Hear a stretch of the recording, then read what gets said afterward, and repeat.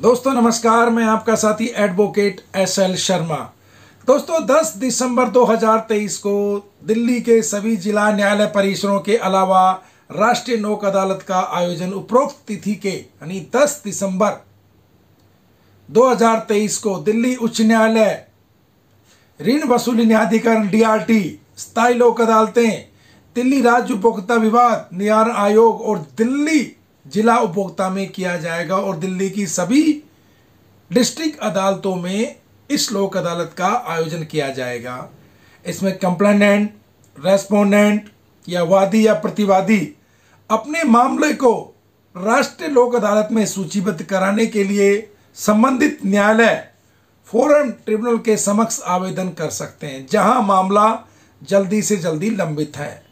मुकदमे से पूर्व मामलों में वादी पक्ष 30 नवंबर 2023 तक कार्यालय में आवेदन कर सकते हैं।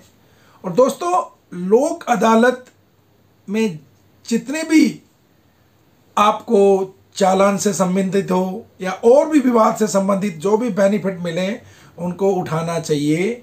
इसलिए लोग लोक अदालत का वेट करते हैं, ताकि जो मोटे मोटे चालान हैं, पुलिस के द्वारा जो चालान किए जाते हैं मोटे मोटे उनका निपटारा हो सके।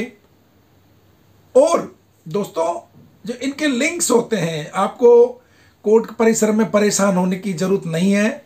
आप इन लिंक का बेनिफिट उठाइए। और लिंक 6 दिसंबर 2023 को सुबह 10 बजे ओपन होगा। और जब तक एक लाख सत्तर हज़ार चालान डाउनलोड होंगे, तब तक वो लिंक काम करेगा। तो दोस्तों, मेरी आपसे विनम्र प्रार्थना है कि अगर आपके ज़्यादा चालान हैं तो इस लोक अदालत का फ़ायदा उठाइए। और अगर आप किसी मामले का निपटारा करना चाहते हैं तो आप इस लोक अदालत का फ़ायदा उठाइए। नमस्कार दोस्तों, जय हिंद।